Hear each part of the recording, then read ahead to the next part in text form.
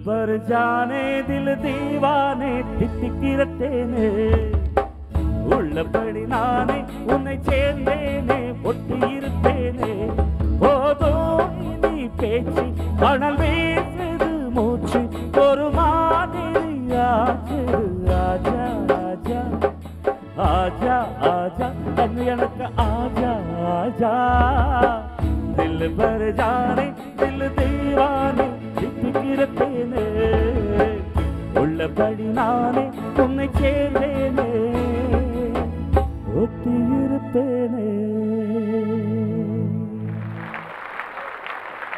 Hi Jaya TV viewers ஒரு மாலை நேரம். உங்கள் கார்டனில் நீங்கள் தனியாக உட்காந்துருக்கீங்க காத்தோடு மிதந்து ஒரு நல்ல பழைய பாட்டு. உங்கள் ஞாபகங்கள் மலரும் நினைவுகள் எங்கேயோ போகிறீங்க ஒரு பாட்டுக்கு அவ்வளோ சக்தி இருக்குன்னா அந்த பாடல்கள் க்ரியேட் பண்ணவங்க பாடியவர்கள் மனதோடு மனோ நிகழ்ச்சியில் வந்து உங்களை சந்தித்து அவங்க மனம் திறந்து அவங்க வாழ்க்கையில் நடந்த சில விஷயங்கள் உங்ககிட்ட ஷேர் பண்ணும் பொழுது அவங்க கூட இணைந்து நான் என் வாழ்க்கையில் நடந்த சில விஷயங்கள் உங்கள் கூட ஷேர் பண்ணும் பொழுது உங்கள் மனசு ரொம்ப சந்தோஷப்படும். ஸோ மனசும் மனசும் சங்கமிக்கிறது தான் இந்த மனதோடு மனோ இன்றைக்கி வரப்போகிற சீஃப் கெஸ்ட் அவங்க தந்தையார் திரையுலகத்துக்கு முதல் பாடகர் சிறந்த பாடகர். இவரும் அப்பா போலவே நல்ல பேர் எடுத்தவர் ஆயிரக்கணக்கான பாடல்கள் பாடியவர். லெட்ஸ் வெல்கம் அவர் சீஃப் கெஸ்ட் தீபன் சக்கரவர்த்தி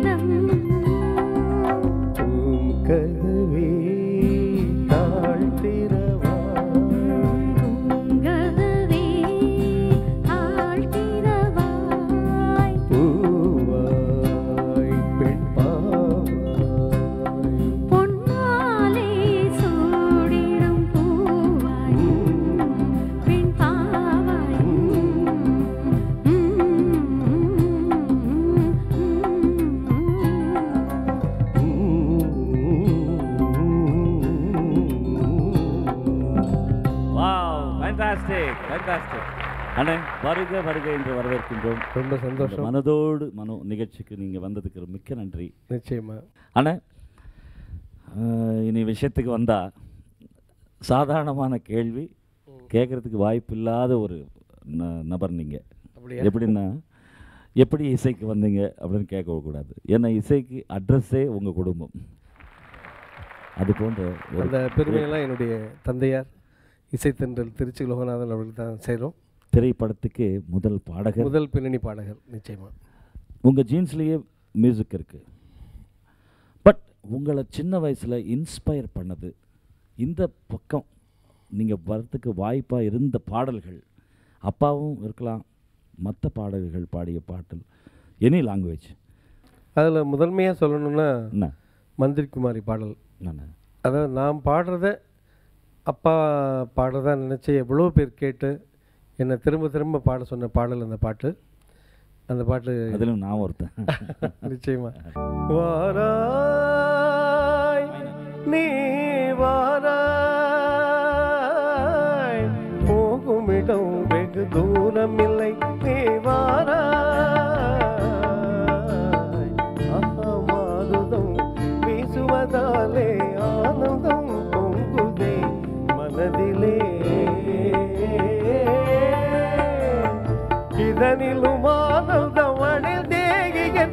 கலந்துயர் வெள்ளினை காழ்வாய் அங்கே வாரா.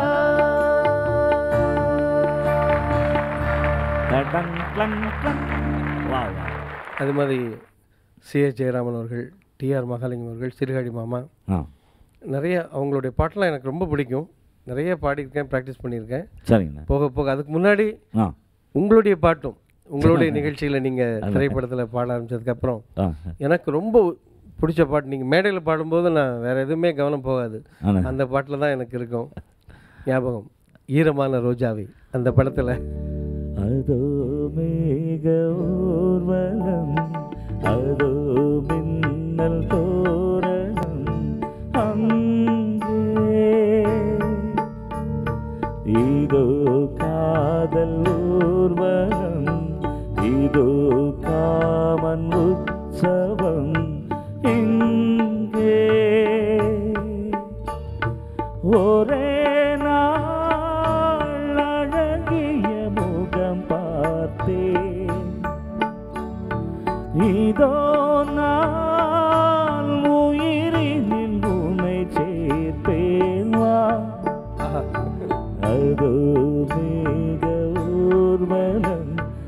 மின்னல் தோரணம் அங்கே.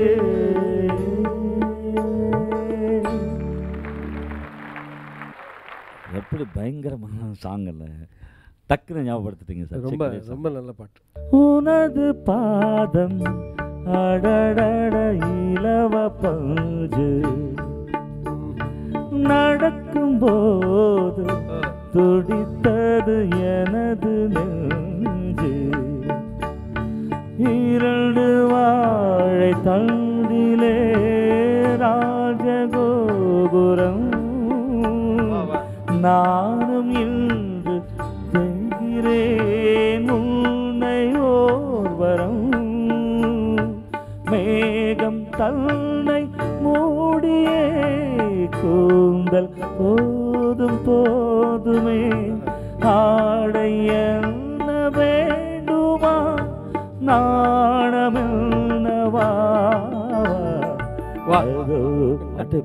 கம்போசிஷன் பொசிஷன் அந்த அந்த எண்டிங் பியூட்டிஃபுல்.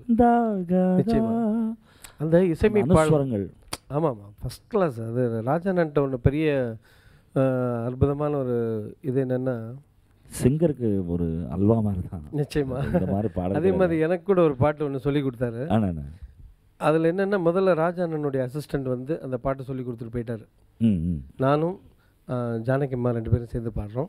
நிழல் தேடும் நெஞ்சங்கள்ன்ற படம். சரிங்க. இது கனவுகள் விளைந்திடும் காலம். மனக்கதவுகள் திறந்திடும் மாதம். தரிராரரி தரிரலிலாலிலாலிலாலிலாலா. அப்படின்னு சொல்லி கொடுத்துட்டாரு. இதே மாதிரி அவர் ஓகே ஒரு மானிட்டர் பார்க்கலாம் அப்படின்னோடனே இந்த மாதிரி பாடினேன். ராஜா டேய் நிறுத்து நிறுத்து கொஞ்சம் நான் இங்கே வரேன்ட்டு உள்ளே வந்தார். உள்ளே வந்து அவர் சொல்லி கொடுத்ததுக்கப்புறம் இதே பாட்டு எப்படி மாறிடுச்சுன்னா இது கனவுகள் விளைந்திடும் காலம் மனக்கதவுகள் திறந்திடும் மாதம் தொலை தூரத்தில் ஒரு தேவதை.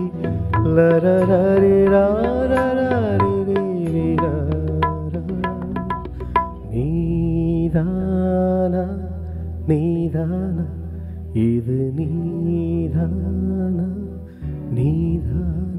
இங்கேருந்து பாடுறது வேற இங்கேருந்து பாடுறது. அவர் இங்கேருந்து வர வச்சார். வச்சாரு. அதே நேரத்தில் எந்த இடத்துல கமக்கம் வரணும் அது வந்து முதல்ல அவர் சொல்லி கொடுத்தது அப்படி. வெறும் வாய்ஸுக்கு உண்டான ஒரு டேலண்ட்டை காட்டுறது மாதிரி தான் இருக்கு அது சரி இது வந்து எக்ஸ்பிரஷன் அந்த சுச்சுவேஷனுக்கு தேவையான எக்ஸ்பிரஷன் இதில் இருக்கு ரொம்ப ரொம்ப கரெக்டாக சொன்னீங்க முதல்ல நீங்கள் வந்து திருச்சி லோகநாதன் அவர்களுடைய புதல்வர் அப்படின்றது எல்லோருக்கும் தெரியும் சரி தீபன் சக்கரவர்த்தி அப்படின்ற பேர் எப்படி வந்தது அதுக்கு உண்டான சூழ்நிலைகள் ஜனங்களுக்கு எல்லாம் தெரிஞ்ச ஒரு பிரேக் பாயிண்ட் தெரியறதுக்கு முன்னாடி தீபன் சக்கரவர்த்தி என்ற பெயர் எப்படி வந்தது? பிரேக்கிங் பாயிண்ட் இப்போ தான் கேட்டோம்.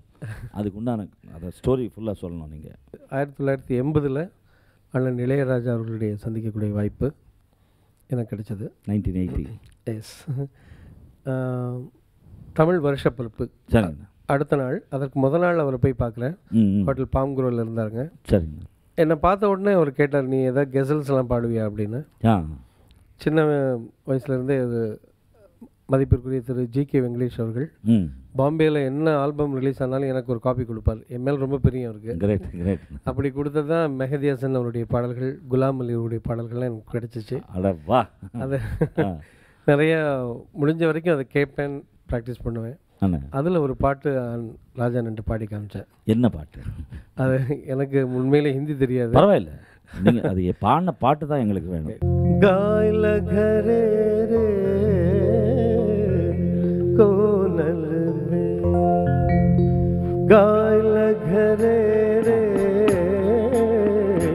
कोनल बेले किनार जमाय जम गायल घरे रे कोनल बेले किनार ஜமாஜம் இந்த பாட்டு முழுசா பாடினேன் வெரி குட் பாடி முடித்தோடனே தேங்க்யூ மச் நாளைக்கு ஒரு புது படம்பா புது பாட்டு. நீ தான் பாட போகிற அப்படின்னு சொல்லிட்டாரு இந்த பாட்டு பாடி முடித்த உடனே நாளைக்கு ஜெமினி ஸ்டுடியோக்கு வந்துடு அப்படின்னாரு. அடுத்த நாள் ரொம்ப அவலாக ஜெமினி ஸ்டுடியோக்கு போயிட்டேன். அந்த பாட்டு ரிஹர்சல் பார்த்துக்கிட்டு இருக்கும்போது மானிட்டர் பார்த்துக்கிட்டு இருக்கும்போது திடீர்னு தீபன் தீபன் அப்படின்னு கூப்பிட்டாரு. எனக்கு யாரை கூப்பிட்றான்னு தெரியல முதல்ல. நான் ஒன்றும் அதை கவனிக்கல. அப்போ அங்கேருந்து ஒரு ஆள் அனுப்பி உங்களை தான் கூப்பிட்றாரு வாங்கன்னு சொல்லி மேக் அந்த ரெக்கார்டிங் ரூமுக்குள்ளே கூட்டிகிட்டு போனாங்க. ராஜு சார் கிட்ட. சொன்னார் அவர். தம்பி உனக்கு வந்து வாய்ஸ் கொஞ்சம் வித்தியாசமாக இருக்கு. ம். இப்போ ஃபீல்டில் பாடிட்டு இருக்கக்கூடிய சிங்கர்ஸ் யாருடைய வாய்ஸ் மாதிரி உன்னுடைய வாய்ஸ் இல்லை. அதனால் உன்னுடைய பேரும் கொஞ்சம் வித்தியாசமாக இருந்தால் நல்லா இருக்கும் அதுக்குனால reach. ஆமாம் நல்லா ரீச் பண்ணும். அதனால் தீபன்னு உனக்கு நான் பேர் கொடுக்குறேன் அப்படின்னு சொன்னார். எனக்கு ரொம்ப ஆச்சரியமாக இருந்தது. இது நான் விரும்பி அதாவது நானாக கேட்டுக்கல அவராகவும் நினச்சிட்டு வரல அந்த நேரத்தில். அந்த நேரத்தில் தோணுனது உடனே சொல்லிட்டாரு.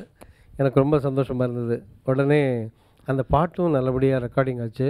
ஓ நெஞ்சமே இது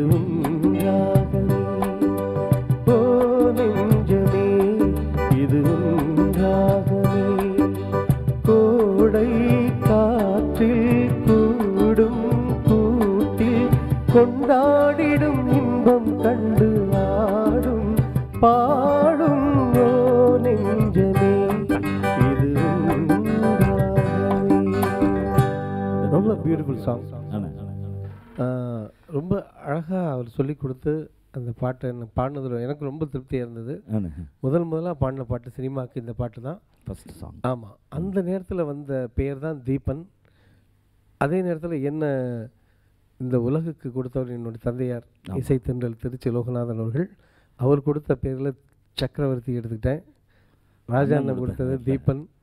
அவர்கிட்ட ராஜானன்ட்டு சொன்னேன். அப்பா கொடுத்த பேர் இது. ரெண்டையும் சேர்த்து தீபன் சக்கரவர்த்தின்னு அந்த பேர் அமைஞ்சது.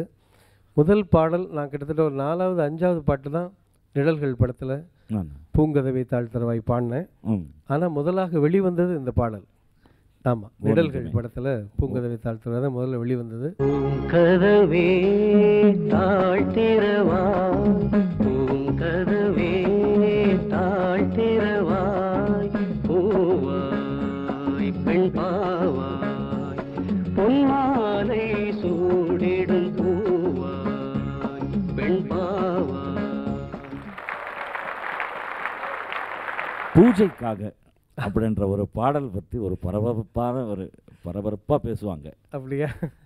அந்த பாடல் வந்து எந்த சுச்சுவேஷனில் நீங்கள் பாடுறதுக்கு போனீங்க? கூப்பிட்டாங்களா? இல்லை அது வந்து நல்ல நேம் வாங்கி கொடுத்த பாடல். உங்களுக்கு? உண்மையா. ராஜானன்னுடைய அசிஸ்டண்ட் தான் இந்த ஒரு ரெக்கார்டிங் இருக்கு. கூப்பிட்றாங்கன்னு சொல்லி கூப்பிட்டாங்க. அது வரைக்கும் இதுக்குள்ளே நீங்கள் எதெல்லாம் பாடி ரிலீஸ் ஆகி நீங்கள் நிறைய பாடிட்டு ஆமாம் ரெண்டு எயிட்டி டூவில் இந்த பாட்டு. காதல் ஓவியம் வந்து ஸோ 82 ஆல்ரெடி யூ ஆர் நிறைய பாட்டு பாடிட்டு இருக்கேன். All music directors you are going every okay Thiru G K Venkatesh அவர்கள் ஷியாம் அவர்கள் அப்போ கேவி மகாதேவன் அவர்கள் எம்எஸ்வி அவர்கள் அவங்க எல்லாம் பாடிக்கிட்டு இருந்தேன். வெரி குட் நிறைய பாடல்கள் பாடியிருக்கேன். அப்போது ராஜண்ணன் ஸ்டுடியோ போனோடனே ராஜண்ணன் எனக்கு கூப்பிட்டார் ரூமில் தீபன் உனக்கு உனக்கு சொல்லணும் அப்படின்னு. என்னென்ன? நீ இந்த பாட்டு வந்து ட்ராக் தான் பாட போகிற பாட போகிற பாட்டு. ஆமாம் பாட போகிற பாட்டு வந்து ட்ராக் தான் பாட போகிற ம். இந்த படத்தினுடைய ஹீரோ வந்து ஒரு பாடகன் கேரக்டர் சரி. அது ஏற்கனவே ரெண்டு மூணு பாட்டு எடுத்துட்டோம். அது எல்லாமே எஸ்பிபி தான் பாடியிருக்காரு. ஓகே. அந்த ஒரே வாய்ஸாக இருக்கணுன்றதுனால அவர் வாய்ஸ் தான் வரணும்னு சொல்லி டைரக்டர் விரும்புகிறாரு டைரக்டர் பாரதி ராஜ் அவர்கள். அதனால் பாலு சார் வந்து இப்போ அமெரிக்கா போயிருக்காரு. அவர் வர்றதுக்கு கொஞ்சம் தாமதமாகுது நேற்றே வந்திருக்கணும் அவர் வரல. ஷூட்டிங் ஆனால் ஷூட்டிங் வந்து நாளைக்கு இருக்குது இந்த பாட்டை பாடி ஆகணும். அப்போ இந்த பாட்டை வந்து யார் பாடலாம்னு நான் முடிவு பண்ணும்போது இப்போ நிறைய பேர் ட்ராக் சில பேர்லாம் பாடுறாங்க. ஆமாம் ஆமாம் இருந்தாலும் அது ஒரு நல்ல சிங்கர் பாடினா நல்லாயிருக்கும் அப்படின்னு நான் நினச்சி உன்னை கூப்பிட்ருக்கேன் நீ எனக்காக பாடணும் அப்படின்னு சொன்னார். என்னென்ன இவ்வளோ பெரிய வார்த்தைலாம் சொல்கிறீங்க நீங்கள் எதை சொன்னாலும் நான் பாடுறேன். சம்டைம்ஸ் என்ன ஆகும்னா நம்ம தான் ட்ராக் பாட போகிறோம் அப்படின்ற ஒரு சின்ன தெரியாத ஒரு மனக்கவலை. ஸ்லைட்டாக அது ஃபாலோ பண்ணும். ஒரு ட்ராக் மாதிரி. அதுதான் எனக்கு சின்ன வயசுலேருந்தே அது கிடையாது. வெரி குட் அதுக்கு மட்டும் எந்த விஷயம் செஞ்சாலும் சரி ஆமாம் இப்போ ஒரு இன்னொருத்தர் இன்னொருத்தர் வீட்டுக்கு போய் எதோ செய்கிறோம் நம்ம வீட்டுக்கு செய்கிறோம்னா என்கிட்ட வித்தியாசம் பார்க்க முடியாது. ரெண்டும் ஒரே மாதிரி தான் இருக்கும். அது சரி இது எனக்கு கொடுத்தாங்க இந்த ஜாப் நான் பண்ண போகிறேன் நம்ம செய்கிறத நல்லா கரெக்டாக செஞ்சுருவோம். அப்படின்னு சொல்லி பாடியாச்சு எல்லாம் வாசிச்சவங்கலாம் பெரிய அவங்களுக்கு happy. இசை மேதைகள்லாம் பா வாசிச்சாங்க. ஆ ஏன்னா அப்போ தான் ஃபுல் பயங்கர. ஆர்கெஸ்ட்ராவோட வாசி பாடுறோம். கிளாசிக்கல் பேஸ்டு சாங்குன்னா சின்ன குட்டி என்ன அவங்க வந்து மிருதங்க வாசிச்சாரு. அவர் வந்து என்னை கட்டி பிடிச்சிக்கிட்டாரு. கட்டி முடிச்சுட்டே இந்த பாட்டு வந்து ரித்தம் வந்து அப்படியே என்னுடைய மிருதங்கத்தோடு அப்படியே உட்காந்துக்குச்சு அழகா. ம் ம் பாட்டு இந்த மாதிரி. அவர் எனக்கு சில அனுபவங்கள்லாம் நமக்கு தெரியாது. இந்த மாதிரி சொல்லும்போது தான் உணர்றோம். எஸ் நம்மளை அறியாமல் நமக்குள்ளே இருக்கிறது சில விஷயங்கள் வெளியில் வருது. அது வந்து பெரிய மேதை அவர் அது மறக்க முடியாத அந்த நிகழ்ச்சியில். அந்த பாட்டு பாடி முடிச்சாச்சு. நான் அப்புறம் பாலண்ணன் பாட போகிறாரு நல்ல பாட்டுன்னு சொல்லிட்டு நான் பாட்டுக்கு வந்துட்டேன். ஒரு ஒரு மாதம் கழித்து ஒரு நிகழ்ச்சியில் நான் பாரதிராஜ் அண்ணன் ஒரு இதில் மீட் பண்ணேன். அப்போ சொன்னார் டேய் இங்கே வாடா அப்படின்னாரு. என்னென்ன உனக்கு ஒரு விஷயம் தெரியுமா? தெரியாது. பாலு வந்து பாட்டு கேட்டார். கேட்டுட்டு நீ பாடியிருக்கிறது நல்லா இருக்கு. இந்த மாதிரி வித்தியாசமாக இருக்குது ரொம்ப. கிரேட் ரொம்ப நல்லா இருக்குது அதனால் அதை மாற்றாதீங்கன்னு சொல்லிட்டு போயிட்டாரு. எங்களுக்கும் எல்லாருக்கும் ரொம்ப பிடிச்சது அந்த பாட்டு. அப்படின்னு சொல்லி ஒரு அதான் பெரியவங்களுடைய ஆசீர்வாதம். ராஜானன் அப்புறம் என்னை கூப்பிட்டு சொன்னார். ஏசுதாஸ் அண்ணா வந்தார் மத்தியானம் பாடுறதுக்கு பாட்டு. அவர்கிட்ட நீ பாடினது போட்டி போட்டு காமிச்சேன். ரொம்ப சந்தோஷப்பட்டாங்க எல்லாரும். இருந்தாலும் பா இந்த பாட்டு வருமானது எனக்கு அப்போ தெரியாது. ஆனால் இப்போ கன்ஃபார்மாக நீ பண்ணதான் தான் படத்தில் வருது. அப்படின்னு சொல்லி அந்த பாட்டு படத்தில் வந்து எல்லாராலும் பாராட்டப்பட்டு என்னை அறியாமல் ஒரு ஒரு எதிர்பார்ப்பு இருக்கும். அப்போ எல்லாம் ராஜா சாருடைய கேசட்டு நிச்சயமா. வெளியிடன உடனே ஒரு ரெண்டு மாதத்துக்கு முன்னாடியிலேருந்து ரசிகர்கள் வெயிட் பண்ணுவாங்க. அந்த மாதிரி இந்த கேசட்ஸ் நிறைய விற்று நிறைய அதுவும் காதல் ஓவியம்ல எல்லா பாட்டுமே. பாலுனா மற்ற பாட்டெல்லாம் சும்மா கலக்கியிருப்பார். சூப்பராக பாடியிருக்காரு. இன்றைக்கும் அதுலேருந்து நிறைய பாடல்கள் வந்து இந்த மாதிரி மியூசிக் காம்படிஷன்லாம் நிறைய பாடிக்கிட்டு இருக்காங்க. காதல் ஓவியம் சங்கீத. ஜாதி சங்கீத ஜாதி முல்லை எவ்வளோ பேர் பாடிக்கிட்டு இருக்காங்க. அந்த மாதிரி. அப்படி அந்த படத்தில் எனக்கு ஒரு பாட்டு இந்த மலை மாறத ராகத்தில் பாடி கிடச்சி. அதுக்கு வந்து அடுத்த வருஷமே மதிப்பிற்கு அப்போ தமிழக முதல்வராக இருந்த டாக்டர் எம்ஜிஆர் கிட்ட ஸ்டேட் அவார்ட் தமிழ்நாட்டின் சிறந்த பின்னணி பாடகன்ற விருது இந்த பாட்டுக்கு கிடைச்சது எனக்கு. அதுதான் இறைவனுடைய அருள் அப்படின்றது. என்ன சொல்றீங்க? எங்களுக்காக அந்த பாடல். ஓ. நிச்சயமா.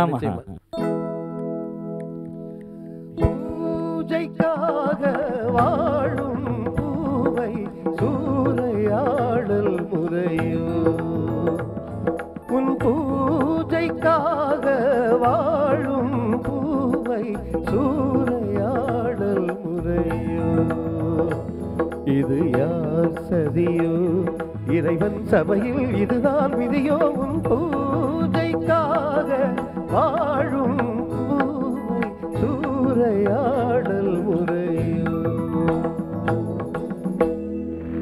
உண்மையிலேயே. வாழ்க்கையில இது ஒரு சுச்சுவேஷன் சொல்லுவாங்க ஒரு மறக்க முடியாத ஒரு எனக்குன்னு அவன் இந்த பாடல். என்ன ஒரு கம்போசிஷன் நிச்சயமா சார் பியூட்டிஃபுல் ஃபர்ஸ்ட் லைன்ல இருந்து சங்கதிகள் தானே நீ நானே நானே தானே ராதே ராதே பிரீத் எடுக்கிறதுக்கு கேப் இல்லை ஆமாம் கரெக்ட் திதிரா தரிரா தெரித்தா திதித்தே திதித்தே திதித்தே ஆரோகணம் தான். டோட்டல் ஆரோகணங்கள் அதே மாதிரி சரணம் பார்த்தீங்கன்னா எனக்கு தெரிஞ்சு இந்த பாட்டுக்கு முன்னால் இதே மாதிரி ஒரு பாடல் வரல அது அதுதான் ஒரு இது அவருடைய கற்பனையே டிஃப்ரெண்ட் கற்பனை. நிச்சயம். இந்த சரணத்தில் இளங்காற்றை தாங்காத பூவின் ஜாதி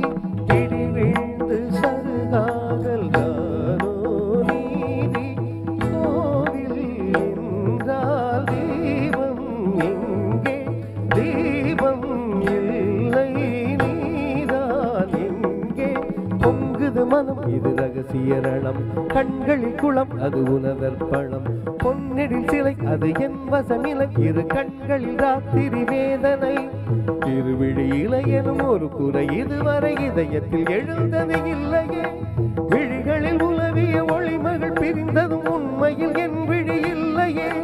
கனவு வரும்போதும் அவளின் முக தீபம் தெரிய முடியாது. திருமுகம் இணைவின் பூஜைக்காக என்ன சொல்றீங்க அதாவது எங்கேயுமே இந்த ராகத்தில் அவரால் இந்த ஜதிகள் அந்த ஜண்ட ஸ்வரங்கள் வச்சு. இது எப்படி அவர் கம்போஸ் பண்ண நினைச்சாரோ அந்த சரணம் ஃபுல்லாக அப்படி நாட்டியம் அது. என்ன சொல்லுவாங்க? சிவன் தாண்டவம். தாண்டவம் அந்த சுச்சுவேஷன் அப்படிதான் டாரி டாரி டாரி டாரி டாரி டாரி டா. அந்த வாய்ஸ்க்கு உண்டான கிளாசிக்ஸ் எல்லாம் காட்டுறதுக்கு உண்டான ஒரு வாய்ப்பு. ஒரு வாய்ப்பு கிடைச்சது தண்டனை நனை டாரி தண்டனை நனை டாரி ஆமா. அந்த மாதிரி யாரும் ஜம்பிங்ஸ் பண்ணல. எல்லாம் நிச்சயமா. ஒன்று இன்னைக்கு ஒருவேளை எடுத்திருந்தா தண்டனை நனை. தேங்க்யூ தனி. ஓகே தண்டனை நனை தேங்க்யூ தனி அப்படின்னு தான் பாடிருக்கணும். கரெக்டா சொன்னீங்க. நம்ம கேட்குறோம் புதுசாக எங்கேயோ கேட்ட மாதிரி இருக்கும். அது அந்த ஹாண்ட் பண்ணாதான் அந்த ஹிட்டு ஆமா. கரெக்ட் அது ஏய் இது சோன் சோ சாங் அப்படின்னா காப்பி தெரிஞ்சிடும். சரி. ஸோ ஹாண்ட் பண்ணுறதுக்கும் அப்படியே காப்பி பண்ணுறதுக்கும் நிறைய வித்தியாசம் இருக்குது எவ்வளவோ சுவாரஸ்யமான விஷயங்கள் சொல்லி வரீங்க. ரொம்ப சந்தோஷமாக இருக்குது உங்களுடைய இன்னும் நிறைய ஹிட்ஸ் கேட்குறதுக்கு முன்னாடி. ஸோ அந்த சுச்சுவேஷன்ஸில் நீங்கள் அந்த காலத்தில் பாடி ஹிட் சாங்ஸ் ஒன்று ரெண்டு எங்களுக்காக. நிச்சயமா. இது மறக்க முடியாத பாட்டு. சரிங்கண்ணே. அண்ணன் ராஜா அண்ணனுடைய இசை. திருமதி பி. சுசிலா அவர்களோட நான் பாட்டு பாட்டு அரும்பாகி முட்டாகி பூ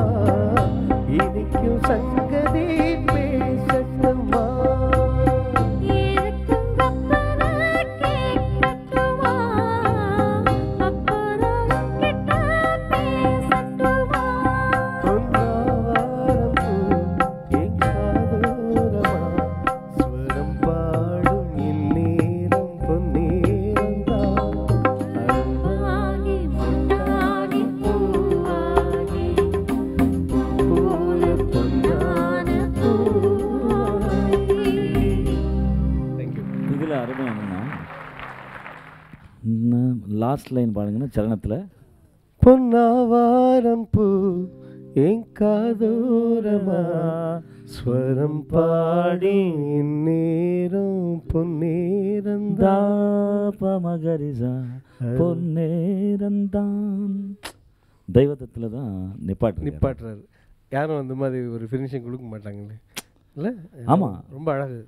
தாதா பஞ்சமத்திலே இல்லது ஷட்ஜமத்திலே பொன்னே அந்த தெய்வ அந்த தெய்வத்தில் பொன்னேரந்தான் அந்த தா அன்றது தெய்வத்து தெய்வத்தில் போய் நிற்குது பாருங்க.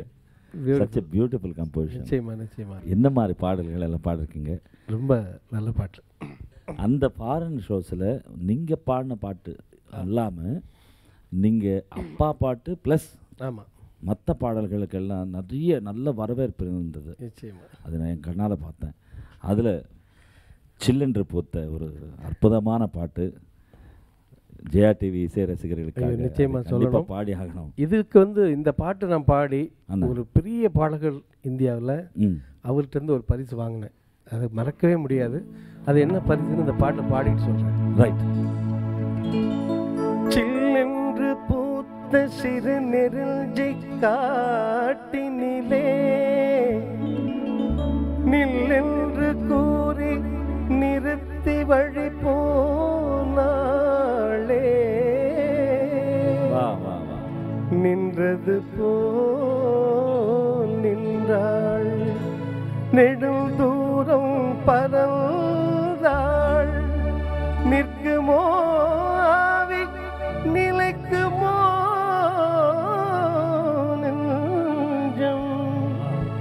மனம் பெறுமோ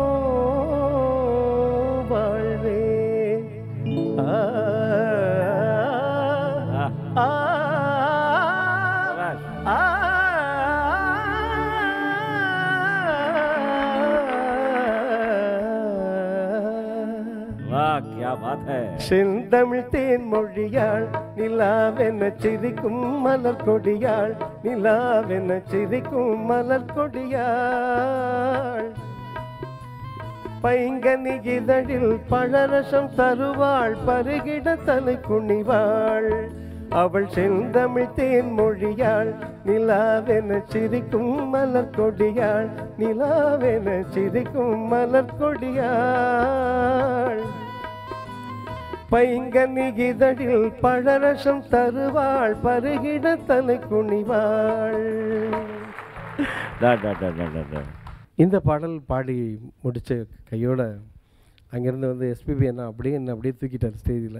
கிரேட் ரியலி மறக்க முடியாதது. எனக்கு உனக்கு என்ன கொடுக்கணும்னு எனக்கு தெரியலடா. நான் இப்போ தான் யூஎஸ்லேருந்து வரேன். இந்த நோட் ஸ்டாண்டு இப்போ நேற்று தான் வாங்கினேன். இதை வந்து உனக்கு இங்கேயே உனக்கு கொடுக்குறேன் அப்படின்னு சொல்லி அவர் கொடுத்த நோட் ஸ்டாண்ட் தான் இன்றைக்கும் என்னுடைய நிகழ்ச்சிகளில் நான் அதை தான் யூஸ் பண்ணிகிட்டு இருக்கேன். ஏன்னா அவரும் எனக்கு ஒரு மானசீக குரு. அண்ணன் உங்கள் வாழ்க்கையில் எவ்வளவோ இந்த இசை பயணத்தில் எத்தனையோ சந்தர்ப்பங்கள் நீங்கள் பார்த்துருப்பீங்க. அதில் மறக்க முடியாத ஒரு உங்களை பாதித்த சந்தர்ப்பங்கள் இருக்கலாம். நிச்சயமாக ரொம்ப மறக்க முடியாத. சந்தோஷகரமான சந்தோஷமான சுச்சுவேஷன்ஸே இருக்கலாம். அந்த மாதிரி பாதித்த ஒரு சந்தர்ப்பம் ஏதாவது? ஒரு பெரிய நிகழ்ச்சி மலேசியாவில் செஞ்சேன். சரிங்கண்ணா அதுக்கு வந்து தந்தையாரை மெயின் வந்து அப்பா தான். அதுக்கப்புறம் ஆர்டிஸ்ட் ஸ்டார் நைட் எல்லாம் இருந்தாங்க. இருந்தாலும் இவருக்கு ஒரு பெரிய மரியாதை கொடுக்கணும் அப்படின்னு சொல்லிட்டு சரி.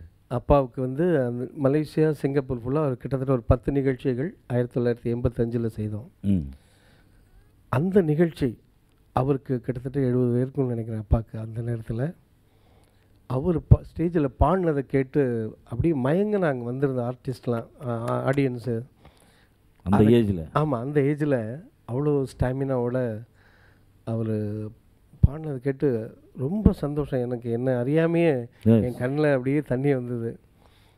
அந்த தருணம் வந்து உண்மையிலேயே எனக்கு மறக்க முடியாத ஒரு இது. ஏன்னா எவ்வளோ அவங்க ரெக்கார்டில் பாடினது ரெக்கார்டிங்கில் பாடினதெல்லாம் நம்ம கேட்காம இருந்திருக்கோம். ஆமாண்ணா சந்தர்ப்பம் இல்லாமல் இருந்திருக்கு. லைவாக பாடி ஏஜில் அந்த ஏஜில் அவர் பாடினது வந்து இன்றைக்கும் என்னால் மறக்க முடியாது. அப்புறம் ஸ்டேஜ் அப்பீரியன்ஸ் ம். அப்படின்னா ஒரு மக்களை வேறு எந்த யாருமே வேறு கவனத்துக்கு போக முடியாது. ஆமாம். பொதுவாக அவருக்கு வந்து அப்போ வந்து முடி கர்லிங் ஹேர் அப்பாவுக்கு சின்ன வயசில் ரொம்ப நல்லாயிருக்கும் அந்த ஒரு அறுபத்தஞ்சி மேச மேலே கொஞ்சம் முடி கொட்டின உடனே இது அழகாலன்னு இல்லைன்னு சொல்லிட்டு ஃபுல்லாக போல்டு எடு முடியை அடிச்சு மொட்டை அடிச்சிட்டாரு. அப்போது ஸ்டேஜில் இந்த பாட்டு பாடுறாரு. ஆசையே அலை போலே நாம் எல்லாம் அதன் மேலே ஓடம் போலே ஆடிடுவோமே வாழ்நாளிலே. இந்த பாட்டில் வாழ்க்கையெல்லாம் தீர்ந்ததே வடிவம் மட்டும் வாழ்வதே வாழ்க்கையெல்லாம் தீர்ந்ததே வடிவம் மட்டும் வாழ்வதே. இளமை மீண்டும் வருமா? அப்படின்னு சொல்லிட்டு அடுத்தது இளமை மீண்டும் வருமா? அப்படின்னு தலையை அப்படி தடவினார் மொட்டை தலையை. ஆடியன்ஸ் அங்கே ஒரு ஐயே பத்தாயிரம் பேருக்கு மேலே இருப்பாங்க. எல்லாரும் சேர்ந்து ஒரு கை தட்டு தட்டினாங்க பாருங்க. இன்னைக்கும் அப்படியே நினைச்சா எனக்கு அப்படியே புல் இருக்கும். இளமை மீண்டும் வருமா? மனம் பெறுமா? முதுமையே சுகமா? காலம் போகும் பாதையை இன்றே யார் காணுவார்? ஆசையே அலை போலே நாம் எல்லாம் அதன் மேலே கோலம் போலே ஆடிடுவோமே.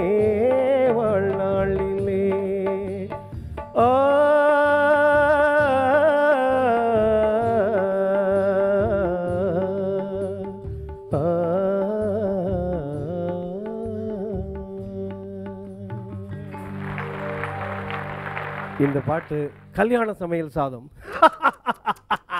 கல்யாண சமையல் சாதம்.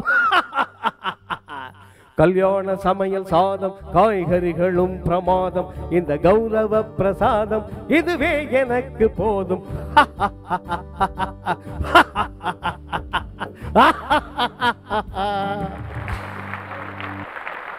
அதே மாதிரி அவர் உலகத்தில் நம்ம இருக்கும்போது எல்லாமே நிலையானதுன்னு நினைக்கிறோம். பல விஷயங்கள் நினைக்கிறோம். இல்லையா? ஒவ்வொன்றும் இந்த இந்த வீடு வாங்கிட்டா இதுதான் எனக்கு பிரமாதம் இதை விட பிரமாதமாக கட்டிட்டேன். இந்த ஜுவல்ஸ் வாங்கி போட்டேன் இந்த சட்டை போட்டேன் அதை போட்டேன் இது போட்டேன். நமக்கு எதுவுமே வந்து உண்மையிலேயே நிலை இல்லைன்றதை நான் எவ்வளோ மகிழ்ச்சியாக இருந்தனோ ஒரு தருணத்தில் உணர்ந்தது அப்போ தான் என்னுடைய தந்தையார் தவறுன்னு அன்னைக்கு. அன்றைக்கு ஒரு நாள் முன்னாடி முழுவதும் என்ன அறியாமல் அவர் அறியாமல் என்னுடைய வேலைகள் எல்லாம் கூட இல்லாமல் அப்பா திடீர்னு வயது ஏதோ சரியில்லைப்பா அப்படின்றாங்க. அந்த வயது வரைக்கும் அவர் டாக்டர்கிட்டயோ ஹாஸ்பிட்டலுக்கு போனதே கிடையாது. நல்லா வயசு பாருங்க. வரைக்கும். அன்னைக்கும் நல்லா பிரியாணி சாப்பிட்ருக்காரு நல்ல சாப்பாடுன்னா ரொம்ப பிடிக்கும் அவருக்கு. நான் வெஜிடேரியன் ரொம்ப பிடிக்கும். சொல்லுவார் ஏன்பா அந்த வாரத்தில் செவ்வாய்க்கிழமை வெள்ளிக்கிழமை யார்ப்பா வச்சது அப்படிம்பாரு. ஏன்னா டியூஸ்டே அண்ட் ஃப்ரைடே எங்கள் அம்மா வந்து சைவம். வீட்டில் நிச்சயமாக சைவ சாப்பாடு தான் இருக்கும். அவருக்கு பிடிக்காது. ஏப்பா யார்கிட்டயா கவர்மெண்ட்டில் சொல்லி இந்த ரெண்டு நாள் எடுத்துருங்களேன்ப்பா அஞ்சு நாள் இருந்தால் போதுமே அப்படிம்பாரு. வார- வாரத்துல. நிறைய ஜோக்ஸ் பண்ணியிருக்காரு அதே மாதிரி. திடீர்னு கேலண்டரில் ஒரு நாள் நான் அப்படி எடுத்தேன். பார்த்தா கேலண்டரில் ஒரு ரவுண்டாக ஒரு ஓட்டை இருக்குது ம், மேலே. என்னடா இப்படி பார்த்துட்டு அப்பாவை பார்த்த உடனே அப்பா அப்படியே கண்ணு அடிச்சாங்க. ம், எடுத்துகிட்டு போய் பார்த்தா அன்னைக்கு வந்து கிருத்திகை. அதை கரெக்டாக பிளேடில் கட் பண்ணி எடுத்துட்டாரு. தெரிஞ்சு. கிருத்திகைன்றதா நிச்சயமா வீட்டில் வந்து நான்வெஜ் இருக்காது. ஆமா. அதை கட் பண்ணி எடுத்துட்டு அம்மாவுக்கு ஒன்றும் புரியல நல்லா நான்வெஜ் செஞ்சு எல்லாரும் நல்லா சாப்பிட்டுட்டோம். அப்புறம் தான் பக்கத்தில் வீட்டில் இருக்கவங்க சொன்னதுக்கப்புறம் தான் தெரியுது இன்னைக்கு கிருத்திகை அப்படின்னு. உங்கள் அப்பா பாருப்பா இந்த மாதிரி வேலையெல்லாம் பண்ணுறாரு அந்த அளவுக்கு சாப்பாடு மேலே அவ்வளோ பிரியம். அவருடைய கடைசி நாள் வரைக்கும் பிரமாதமாக திருப்தியாக சாப்பிட்டுட்டு ரொம்ப சந்தோஷமாக குழந்த மனசு அவருக்கு. அன்றைக்கு திடீர்னு வயதை ஒரு மாதிரி பண்ணுது அப்படின்னு சொன்னார். நான் ஏதோ நினச்சேன் வேறு எனக்கு ஒன்றும் தோணலை. சரிப்பா வேணா பக்கத்தில் டாக்டரை பார்க்கலான்னு என்னைக்கும் போக வேண்டாம்னு சொல்கிறவர் சரிப்பா போய் டாக்டரை பார்க்கலாம் அப்படின்னாரு. ஃபர்ஸ்ட் டைம் ஆமாங்க. என்னுடைய ஃபேமிலி டாக்டர் ஒருத்தர் அவர்கிட்ட போய் பார்த்த உடனே நீங்கள் பெரிய டாக்டர் இங்கே ஒருத்தர் இருக்கார் அவரை போய் பாருங்கன்னு சொல்லிட்டாங்க. அவரை போய் பா பார்த்துட்டு அப்பா வெளியில் வந்துட்டாங்க. அவர் கூப்பிட்டு சொன்னார் சார் அப் உங்கள் ஃபாதருக்கு ரொம்ப மேசிவ் அட்டாக் அவருக்கு வலின்றது தெரியாது. ஏதோ வயிற்றை கலக்கிற மாதிரி இருக்கும். அதனால் நீங்கள் நாலஞ்சு பேரை த கூட்டிட்டு கூட்டிகிட்டு போய் சேரில் உட்கார வச்சு கீழே படியில் இறக்காதீங்க. சேரில் கூட்டிகிட்டு போய் அப்படியே இந்த ஹாஸ்பிட்டல் கூட்டு போங்க நான் வந்துடுறேன் அப்படின்னாரு. அவர் சொல்லிகிட்டு இருக்கும்போது வெளியில் வந்து பார்த்தா அப்பா கீழே நிற்கிறாங்க அதுக்குள்ளே. நடந்து போய். வாப்பா நடந்து போயிட்டாங்க. வாப்பா அப்படின்னாரு. கீழே போனவொடனே இல்லைப்பா அப்பா ஏதோ ஹாஸ் டாக்டர் ஏதோ ஹாஸ்பிட்டல் போகணும்னு சொல்கிறாங்க அப்படின்னாரு. அதெல்லாம் அவங்க ஏதாவது சொல்லுவாங்க. வாப்பா நம்ம போய் டிரைவனில் போய் ஒரு காஃபியும் ரவா தோசை சாப்பிட்டு போவோம் அப்படின்னாரு. அந்த நேரத்துலையும் எனக்கு வந்து அப்பா உடனே ஹாஸ்பிட்டல் கூப்பிட்டு போகிறதுக்கு எனக்கு மனசு வரல. நேராக கூட்டிகிட்டு போய் அவருக்கு நல்ல ஒரு காஃபி வாங்கி கொடுத்து அதுக்கப்புறம் நேராக ஹாஸ்பிட்டல் கூட்டிகிட்டு போகிறேன் அது ஃபுல்லாக எங்கிட்ட பேசிக்கிட்டே வராங்க. அவருடைய வாழ்க்கை எப்போ இப்போ எப்படி இருந்தது? திரு தண்டபாணி தேசிகர் அவர்கள் அவருக்கு நெருக்கமாக இருந்தது. அவர் பெரிய பாடகர் நடிகர். அவர் பண்ண ஒவ்வொரு பாட்டும் அப்பாட்ட பா பாடி காமிச்சு ரெக்கார்ட் பண்ணியிருக்கு. மாதிரி விஷயத்தெல்லாம் சொல்லிகிட்டே வர்றாரு டேப் போட்டால் தண்டபாணி தேசிகருடைய பாடல் வருது திடீர்னு. அதை கேட்டுக்கிட்டு ஹாஸ்பிட்டல் போய் இறங்கி கொண்டு போய் விட்டுட்டு எங்கள் அண்ணன்லாம் கூப்பிட்டு எல்லோரும் எனக்கு என்ன பண்ணுறேன்னு தெரியல. விட்டுட்டு எனக்கு ரொம்ப நேரம் இருந்துட்டு அப்புறம் நான் வீட்டுக்கு போயிட்டேன். அடுத்த நாள் காலையில் ஹாஸ்பிட்டலுக்கு வந்தேன் அன்றைக்கி எவ்வளோ முயற்சி பண்ணியும் அப்பா வந்து நம்ம காப்பாற்ற முடியல. அன்னைக்கு தான் நினச்சேன் எதுவுமே நமக்கு நிலையானது இல்லை அப்படின்னு இந்த உலகத்தில். அன்னைக்கு நான் வருத்தப்பட்டது யார் யாரும் வந்துட்டு போயிருக்காங்க எனக்கு தெரியாது வீட்டுக்கு. இவ்வளோ பெரிய ஆட்கள்லாம் வந்து அப்பா தவறுனதை பார்த்துட்டு போயிட்டு. அன்னைக்கு நான் வருத்தப்பட்ட மாதிரி வேறு எந்த நாளும் என்னுடைய வாழ்க்கையில் நான் வருத்தப்பட்டதே கிடையாது. அப்பவும் சரி எப்பவும் என் காதில் அவருடைய பாடல் நான் பிறந்ததுலேருந்து நான் கேட்டுட்ருக்க பாட்டு இந்த பாட்டு ரொம்ப பிடிக்கும். சின்ன அரும்பு மலரும் சிரிப்பை சிந்தி வளரும். கண்களந்த காட்சி கண்டு கழிக்கும் நாள் வரும். நான் கழிக்கும் நாள் வரும். மண்ணில் உலவும் நிலவே என் வயிற்றில் உதித்த கனியே வாழ்வு உன்னால் செழித்தே மனம் மகிழும் நாள் வரும். நான் மகிழும் நாள் வரும். சின்ன அரும்பு மலரும் சிரிப்பை சிந்தி வளரும். பிரிய மகான் அந்த நேரத்தை நினச்சி எனக்கு எப்பவும் தாலாட்டு பாடுற மாதிரி எனக்கு எப்பவும் மன சோர்வு ஏதாவது இருந்தா ஆ.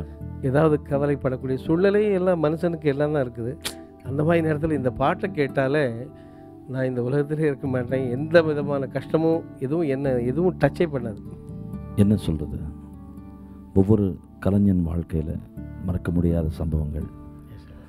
அது அந்த பெயின் அடைஞ்சவங்களுக்கு தான் அந்த பெயினுடைய எஃபெக்ட் தெரியும். ஆமாம் அது எவ்வளோ ஆழமாக குத்திருக்கும் அப்படின்றது திரைப்படத்தில் வந்த முதல் பாடகர்.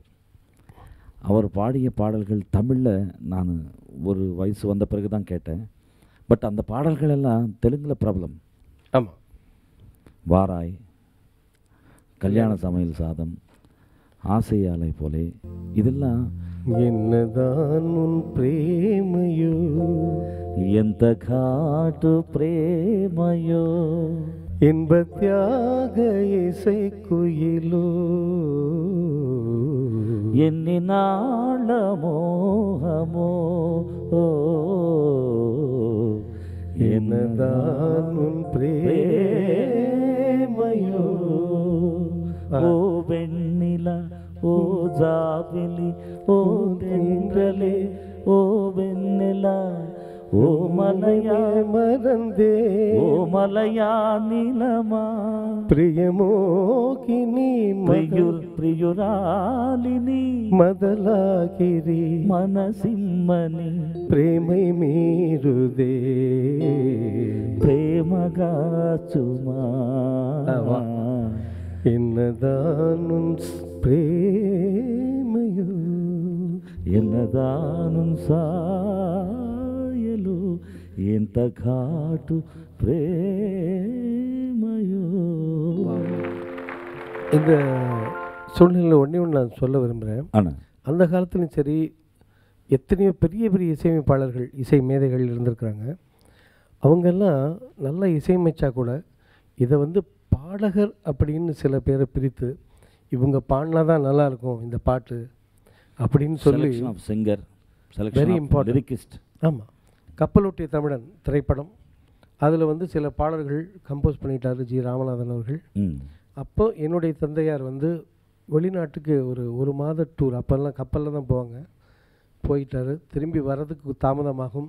இருந்தாலும் அந்த இசையமைப்பாளர்கிட்ட போய் மற்ற ப்ரொடியூசர் சொல்லியிருக்காங்க சார் இந்த பாட்டு வேறு பாடகரை வச்சு பாட வச்சிடலாமே.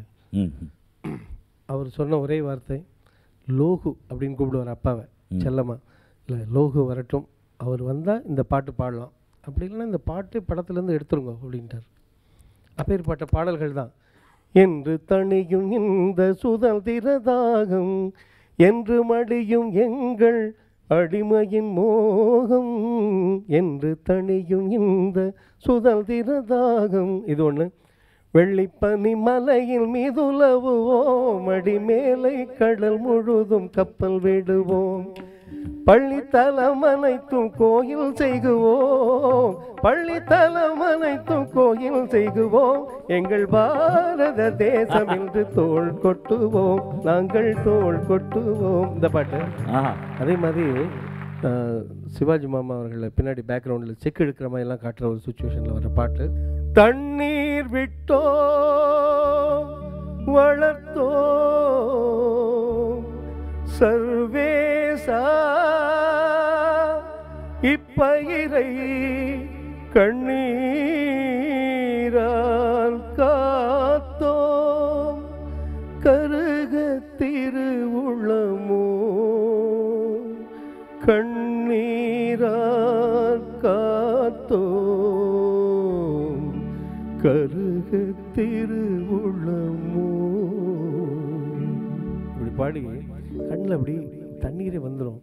இப்பேற்பட்ட பாடலுக்கு என்னுடைய தந்தையார் வந்து அவர் சொல்லியிருக்காரு நான் சுதந்திரம் வர்றதுக்கு முன்னாடி நிறைய மேடைகளில் சுதந்திர பாடல்கள் பாடியிருக்கேன்.